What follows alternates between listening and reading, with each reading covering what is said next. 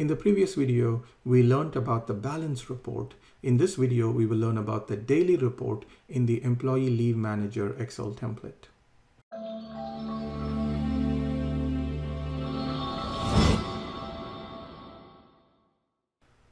The daily report is one of the simplest ones. All you have to do is to type in a specific date and you'll see the employee leave entries for that date. So by default, for example, when it says January 1st, 2019, you can see that it's a Tuesday. You can also see that it is a holiday. And if it is a weekend, it'll get displayed here. And you can see the different leave type summary and since it's a holiday everything is zero. And then you can see the number of employees who are totally in the template 69 not employed at the time on January 1st is 2 which means there are 67 employees who were employed at the time. And the leave entries there are no leave entries so it'll say 0 but let me choose another date and type in July 3rd and see if there are more entries. So now you see that there are four leave entries, so which is listed here as four, and you can see the specific four.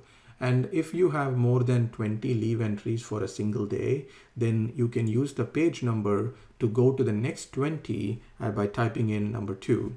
But hence, since we only have four here, we don't need to do that. But to point out here that there are maximum 20 leave entries will be shown at a time, but you can then change it uh, by the page numbers. Now for July 3rd, there are two total um, leave days taken by the employees, one paid leave taken. And so you can see the leave values here, 111, so totally three. And the fourth leave entry is a training leave and it doesn't have any value because we are not tracking, it, it doesn't have any leave value um, because we are using it just to know that this person is going to be on training but it doesn't count against their leave balance because they're still working for the company. Um, but it's important to see it here so that you know that this employee is out on training and will not be in office or will not be available to do the regular work. So this report will show all the leave entries that we have entered in the leave sheet for that specific date. And if I enter, for example, July 5th, um, that would be a Friday. So let me enter July 7th. It'll show the weekend. So it'll show that as a weekend. Now I want to again show one more option here.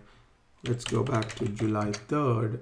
And we saw these um, last column here, which is also something that the user as you can control, which is if you don't want to see the um, notes column, you can change it to one of your custom columns. So I've created a custom column here in the leave sheet.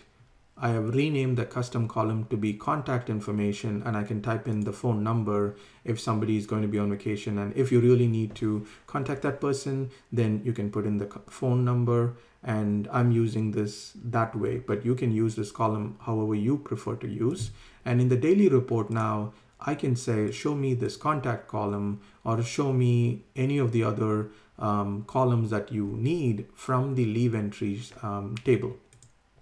So now this is how I can customize my thing and you can definitely print or export it by just going to print and you'll see this nicely ready to print sheet and you can also export it by going to export and create PDF.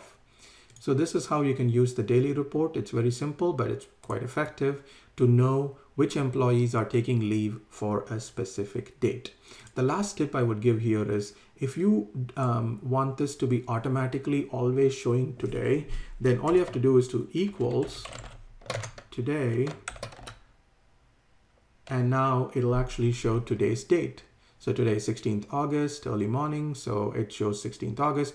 But if you, um, if I come in tomorrow and open this file, now it'll show 17th August. So by this way, it'll automatically show me the current day's leave entry. So I don't have to change, keep changing the dates. But if you want to look at any future dated ones, you can definitely type in and say, okay, who's going to be out on August 30th?